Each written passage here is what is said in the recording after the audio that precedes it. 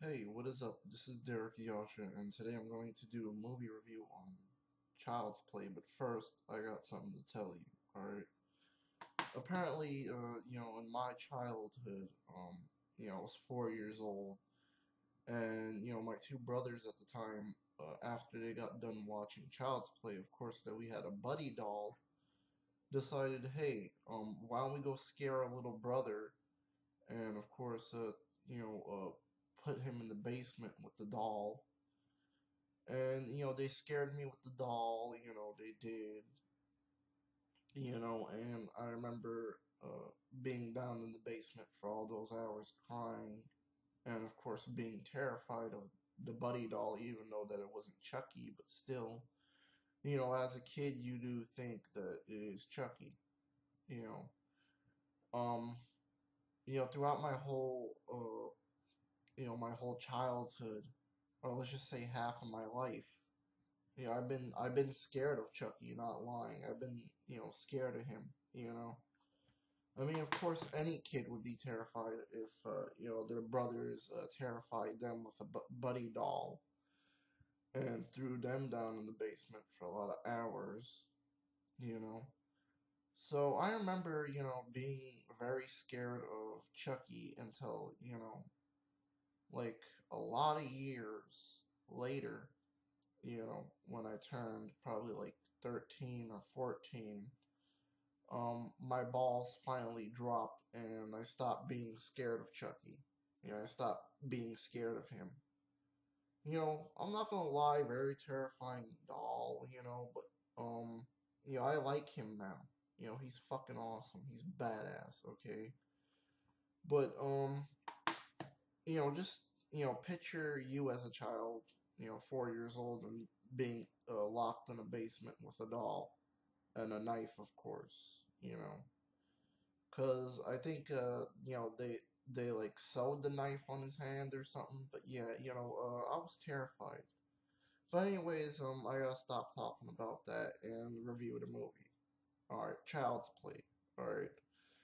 Yeah, so if you don't know, um, the movie is basically about this guy named Charles Lee Ray, and you know, um, the cop by uh, played by Chris Sarandon, yeah, Chris Sarandon.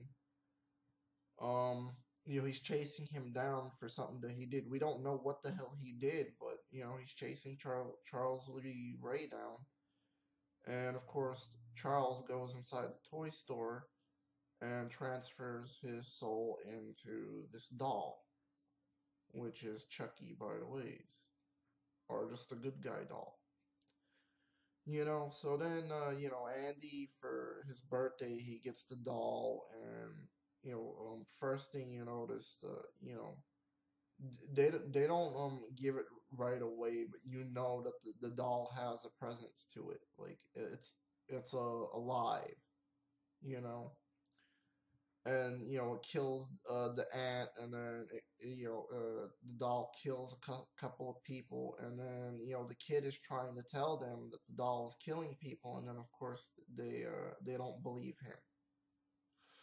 So yeah, you know I don't want to spoil the rest of the movie, but you get the point. You probably already saw this movie already, but still pretty awesome movie, you know. Um, I think the guy that does the, the puppetry from Tales from the Crypt for the Crypt Keeper also uh, did the the um, puppetry for Chucky. You know, um, for me, the movie gets five out of five. You know, um, the visuals are excellent. The cinematography is excellent. But um, you know, there was one scene in the movie where, you know, Andy and Chucky get out of the school, and of course, uh, if you uh, look very carefully, um, you can see the, you know, the uh, director and camera crew through the door, you know, like their reflection through the glass door. You know, um, they might have removed this from this new DVD, the, you know, Chucky's 20th birthday edition. They might they might have removed it, but if you go uh, get the MGM version. I know it's full screen, but still, you know, um, you will see that mistake in the movie. You know. But um, you know, other than that, um, yeah, the movie does get um five out of five. You know, uh, great acting. You know, this and that. You know, but um, here's what I want to talk about. You know, mainly the special features on the back of this DVD. Okay, let's see what what special features does it come with. Okay, audio commentary by Alex Vincent and Catherine Hicks and Chucky designer Kevin Yeager or Yeager or however you say it. Okay. Uh, audio commentary with producer David Kester. Okay, and screenwriter Don Mancini. Okay. Um. Scene. Scene. Specified. Uh. Chucky commentary. Okay, whatever. It's a commentary on Chucky. Uh, you know, uh, this is probably the makings, the featurette, and I think another makings or a featurette again, another featurette.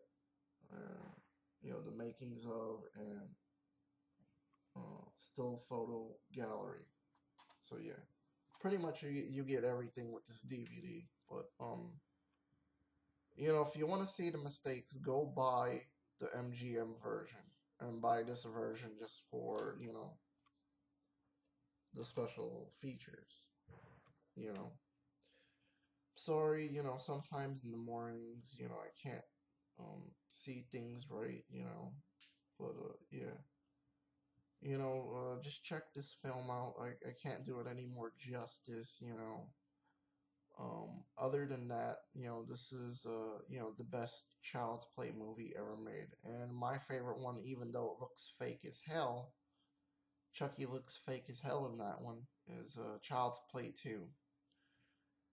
Uh, that's my favorite movie, and you know, um, Child's Play Three is pretty much you know okay. Uh, you know, it was a decent time waster, but um, you know, um, for me, I gotta say that uh, you know Bride of Chucky and Seed of Chucky are just garbage. So yeah.